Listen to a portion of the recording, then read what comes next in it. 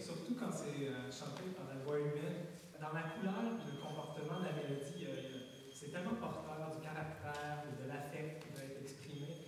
Puis aussi, je trouve que dans, euh, dans ce chant, on trouve beaucoup des notions de style, de contexte culturel.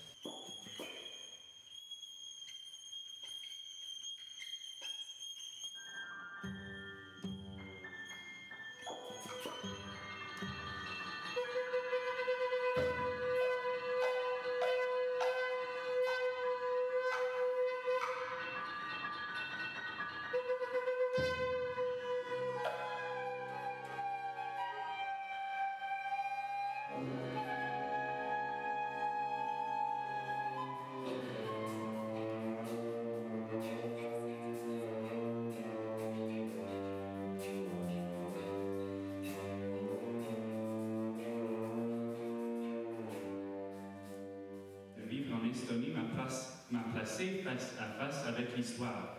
Je vivais tout près de la vieille ville à Tallinn. J'étais entouré d'architecture médiévale, baroque, art déco et même d'immeubles soviétiques. Cela me rappelait que le passé est toujours présent dans le monde aujourd'hui et que dans la création artistique, il est possible de voyager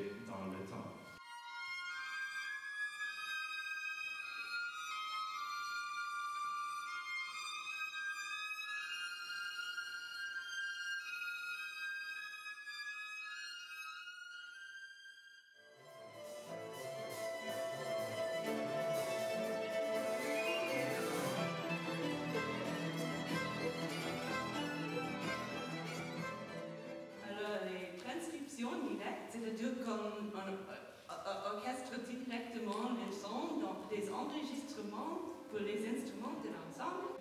Par exemple, la pierre qui glisse sur la glace,